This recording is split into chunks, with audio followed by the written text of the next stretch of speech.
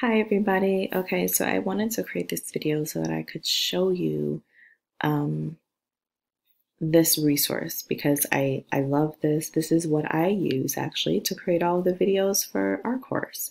Um, and so this is the web address. It's Screencast-O-Matic, but you don't have to type in the hyphens. You can just type in screencast-o-matic.com, just like that.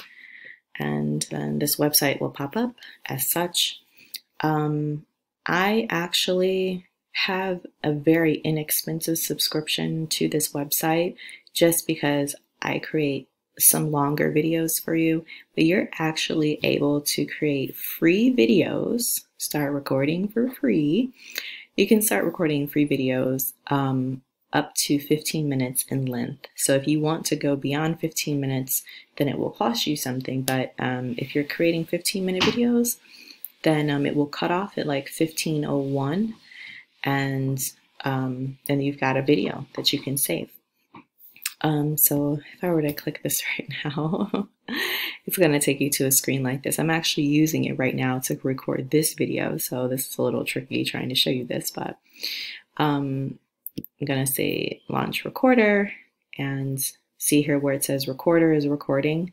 Um, it's because I'm using it right now, but once you're done, you can see all of these videos that I've that I've recorded um, using this. There's so so many.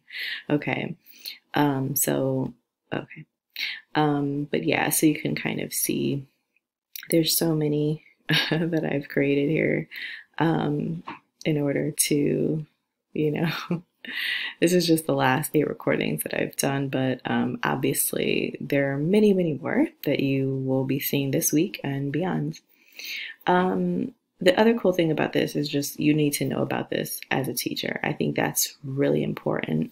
Um, another reason is because you can create scripted videos as well, um, where it will actually uh, write, it'll record the script of everything that you're saying and let it appear on screen as you're saying it. So this is great to make this um, available to those who um, may have uh, an impairment so that they're then able to refer to the video um, and just you know to see what you're saying or um, to review notes or something like that it's just an incredible tool for that. So that's all. It's just it took a few minutes to talk about but i mean yeah that's that's pretty much that's pretty much it.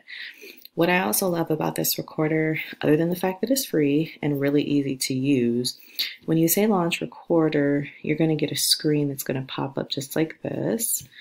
And um, you can see here that you have the option of doing uh, just screen. You can do webcam and that would webcam. So the screen would be the screen that we see before us. Okay, your computer screen.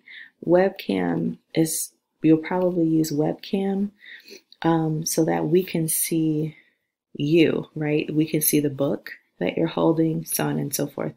Or you can do a little bit of both like if you had the book on your computer screen, for example, if you had a digital copy of the book and you were reading it to us, um, then you could actually have it on the screen. You could do a picture in picture, which you've seen on some of the videos I've done for you, um, where we'll be able to see you and then we'll be able to see your screen at the exact same time as you're talking. And then you'll just hit this button here, record. This will show you that the mic is working or not. Okay, so you'll, as you do it like a little testing, testing, this will go up to show that it's, it is picking up your voice. You hit record, you record your video, and um, that's pretty much it. When you're ready to stop, you just go down here and you hit, you know, stop recording, and then you have the option of saving your video, so make sure you save it. And the, the last thing I love about this, um, is so easy to use, but other the other thing is you get to save the video and it automatically saves it. You can save it to your computer. It saves it in as an MP4, which is much easier to upload online for the purpose of uploading this assignment to the assignment link. I love that. I love the fact that you can upload that MP4 so much faster than if you were to create a QuickTime video. And I'm not an expert in, you know, saving different formats of videos or converting them. I mean, you can just do a quick Google to figure out how to do that. Um, but I knew I do know that QuickTime videos are bigger files and they just take longer to upload. They take forever to upload um, in Blackboard, so don't use QuickTime for this. I would definitely recommend that you use this.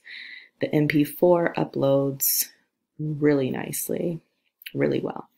The other thing is, as you're making your video, if you're making a free video, there's a timer down here and it's counting the time as you're talking. So once it gets close to 15, you'll know whether you're going to make it or not, okay, or whether you need to either refilm or whether you just need to film um, a longer video or maybe um, multiple videos in order to to finish your presentation. Okay, that is about it. I hope that you have fun using this tool. Um, it's really, really user friendly. Um, and if you have questions, please let me know.